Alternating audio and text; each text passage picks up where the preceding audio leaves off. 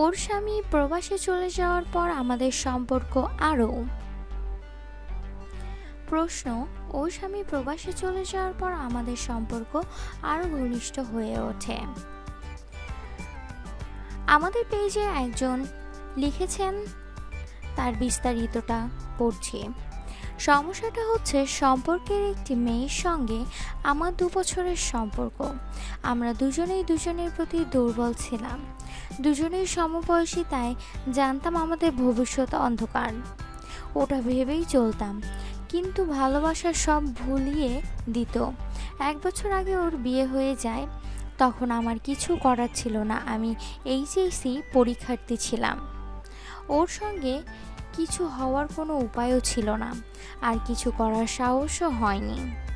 যেহেতু প্রথম থেকেই মনে ছিল যে ভবিষ্যৎ অন্ধকার, তাই বিয়েটাকে মেনে নিতে হলো।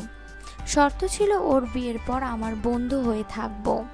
যোগাযোগ থাকবে, মাঝে মাঝে কথা হবে।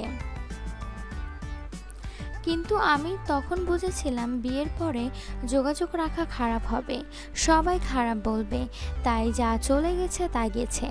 ভাগ্যে ছিল না, তাই ওকে পাইনি। এইভাবে নিজেকে সান্ত্বনা দিলাম। তারপর ওর বিয়ের তিন মাস পার হয়ে যাওয়ার পর ওর স্বামী দেশের বাইরে চলে যায়। আমি ওকে ভুলতে চেষ্টা করলাম অনেক, কিন্তু পারলাম না। মনে হয় কি যেন একটি নেই। ওর সব স্মৃতিগুলো আমি ডিলিট করে দিই। কিন্তু তবুও কেন যেন আমি পারতাম না কিছুই। ওর কথা মনে হতো আর কান্না করতাম। ও ছিল আমার প্রথম ভালোবাসা। আমার স্বপ্নের কন্যা সত্য তো ভাই তাই মনে হয়। ওকে ভোলার জন্য অনেকবার নতুন সম্পর্ক করার চেষ্টা করি কিন্তু যখনই সম্পর্ক হতে যাবে তখনই ওর কথা মনে পড়তো কিন্তু ভালো লাগতো না। সম্পর্কও করতে পারতাম না। যাই হোক, ওর স্বামী দেশের বাইরে চলে যাবার পর হঠাৎ আমি ফোন দিই। কথা হয় বন্ধুর মতোই। এভাবে কথা চলতে থাকে। কিন্তু তখন আমি ওকে এড়িয়ে চলতাম তাচ্ছিল্য করতাম, কেন যেন আমার খুব রাগ উঠে যেত ওর ওপর। তখন ওর খুব মন খারাপ হতো।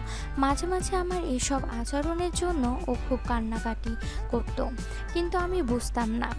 একটা ছেলে আর একটা মেয়ে কখনোই বন্ধু থাকতে পারে না। আমার ধারণা আমাদের মধ্যে সেটাই হলো। কীভাবে যেন মনের অজান্তে সম্পর্কে জড়িয়ে গেলাম। তার কিছুদিন পর ওর স্বামী দেশে ফিরে আসে, তখনও আমাদের মধ্যে যোগাযোগ হয়। তখন শুনতাম ওর কিছুই ভালো লাগে না। ও কিছুতেই মানিয়ে নিতে পারছে না। আমাকে বলতো, আমি যেন ওকে ভুলে না যাই।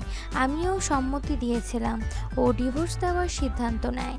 যদি আরও খারাপ কিছু হয়, তখন দ্বিতীয়বার ওর স্বামী আসার পর ওর সঙ্গে আমার যোগাযোগ খুব কমই হয়। অনেক দিন হয়ে গেল, এখন আমার ধারণা হচ্ছে আমার সঙ্গে সম্পর্ক হবার জন্যই ও বিয়ের পর সংসারে মনোনিবেশ করতে পারছে না। আবার আমাকে ভুলতেও পারছে না। ভিন্ন হতে পারছে না কেননা শ্বশুরবাড়ির দিকে কোনো সমস্যা নেই, আবার এখন কোনোভাবেই স্বামীকে মেনে নিতে পারে না। আবার আমাকে ভোলার চেষ্টা করতে পারছে না। আমিও বুঝতাম কারণটি, হচ্ছে আমি। আর আমার মধ্যে কিছু না হওয়ার সম্ভাবনাই বেশি।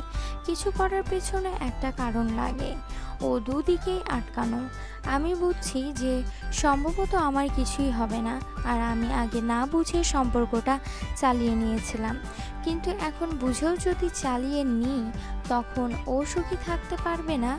আমি না পারছি ওকে কিছু বলতে, না পারছি কিছু করতে। কেন যেন আটকে যায়।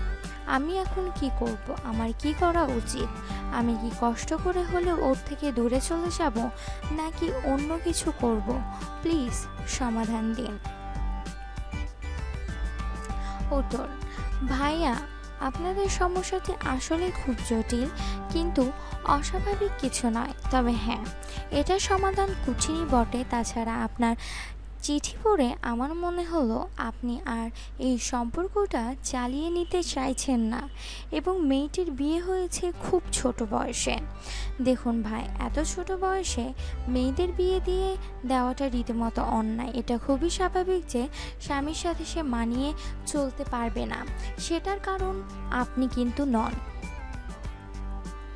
আপনি না থাকলেও মেয়েটি সংসার জীবনে কখনো সুখী হতে পারবে না। এমন গ্যারান্টি দেওয়া যায় না। কারণ বিয়েটি তো স্বেচ্ছায় হয়নি, তাই প্রথমে আপনাকেই চিন্তা করে দেখতে হবে, আপনি কি মেয়েটিকে চান? আপনি কি তাকে বিয়ে করার সাহস রাখেন? আপনি কি মেয়েটিকে নতুন একটি জীবন দিতে পারবেন? আর আপনি সব পারলেও মেয়েটি কি পারবে? উত্তরগুলি যদি না হয়, তাহলে কষ্ট করে হলেও নিজেকে সরিয়ে আনুন ভাই। এতে আপনাদের দুজনেরই ভালো হবে। এতক্ষণ ভিডিওটি দেখার জন্য আপনাকে অসংখ্য ধন্যবাদ। ভিডিওটি ভালো লেগে থাকলে প্লিজ প্লিজ আমার চ্যানেলটি সাবস্ক্রাইব করুন, ভিডিওটি লাইক অ্যান্ড শেয়ার করুন। আর হ্যাঁ স্বাস্থ্য বিষয়ক যে কোনো তথ্য জানার থাকলে বা কোনো পরামর্শ জানার থাকলে আমার পেজে আমাকে বলুন।